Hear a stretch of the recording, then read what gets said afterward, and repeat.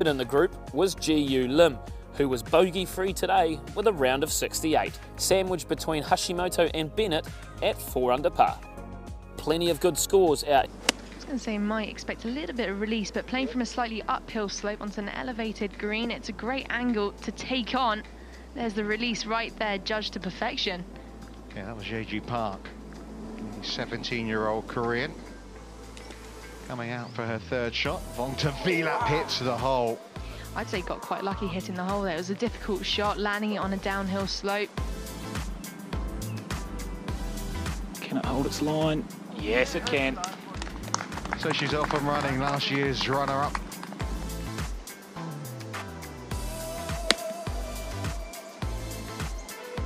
Swing.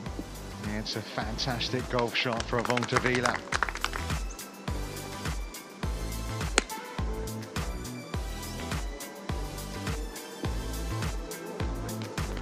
It wasn't far away from being inside, was it? They got it covered here.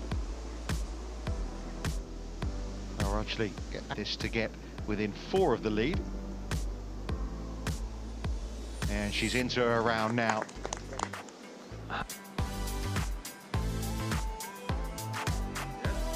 Yeji Park continues her strides up the leaderboard now into a share of fourth place opening up massively for that bunker shot. Interesting technique, I'd say, just sliding across it, but worked out pretty well. On to Vilap to get to three under.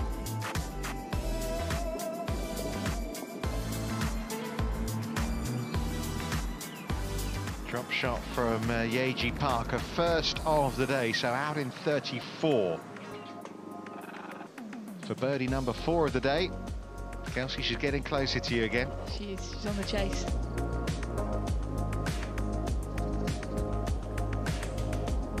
Oof. Made full use of the cut, but not in a good way though.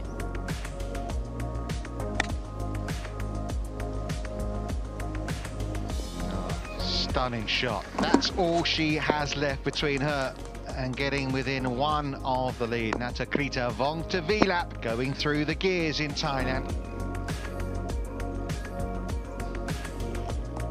Yeah, tied seconds where she finished last year. It's where she is right now in this Women's Amateur Asia Pacific. The pressure's on now. Lengthy putt for par. Hasn't dropped a single shot so far.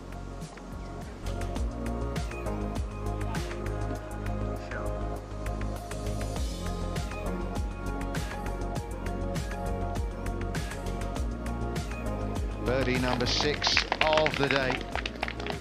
And, uh, well, two players in the field that finished second last year